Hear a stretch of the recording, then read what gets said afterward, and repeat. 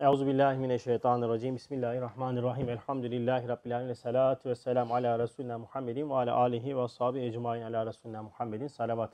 Evet. Şu fıkra Mesut Efendi'nin Bağla Layıkası sayfa 91 mektup 95 Envar Neşriyat'a göre. Şu fıkra Mesut Efendi'nindir. Ey benim muhterem üstadım. Hattı buluğumdan bu ana kadar lain şeytanın zırhından mamul bir sanduka derununda kilitlenmiş olduğu aklı uhrevi ve imanım tazik altına almıştır. Duanız sayesinde ve bana karşı göstermiş olduğunuz hüsnü niyet ve nasihatların semeresi olarak ancak 7 senede üstadımın dua yağmuruyla lain şeytanın zırh sandukası kırılarak imanımı tekrar teslim ettim ve teslim aldığımı şununla ispat ederim ki duaya kabul buyurduğunuz tarihte yani Ramazan-ı Şerif'in 3. gününde. Biz bu mektupta ilk okuduğumuzda Halit kardeşim burayı silmezsen özellikle an olarak kalsın. Ramazan 3. gün okumuştuk. Şimdi kaçıncı gündeyiz? 16.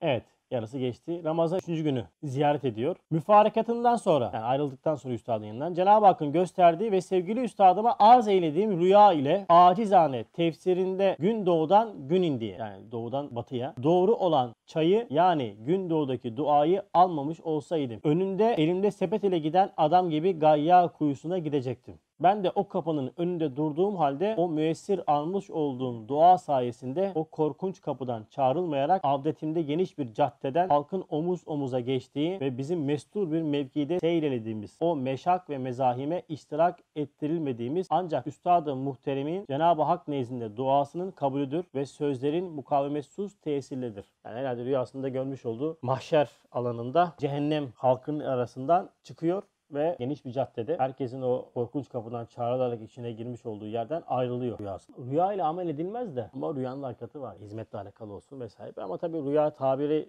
önemli. Mektubatta da geçiyor.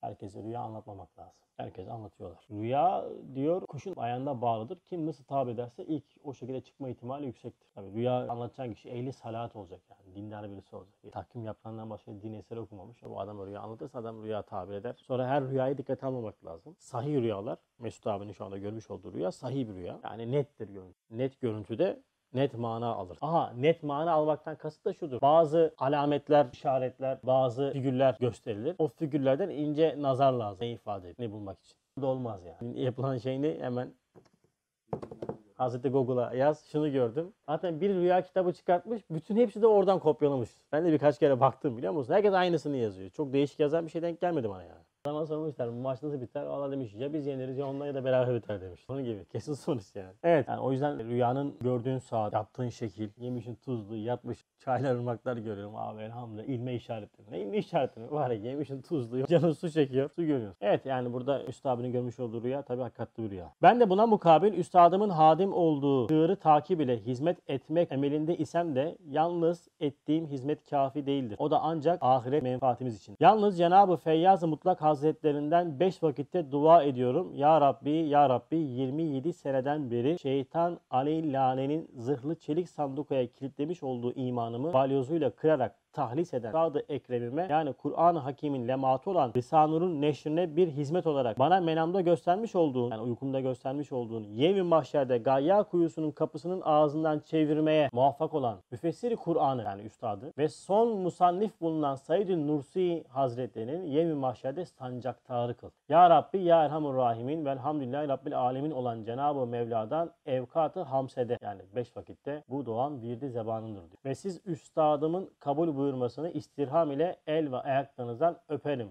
Efendim Hazretleri Mehmet Mesut abimiz yazmış.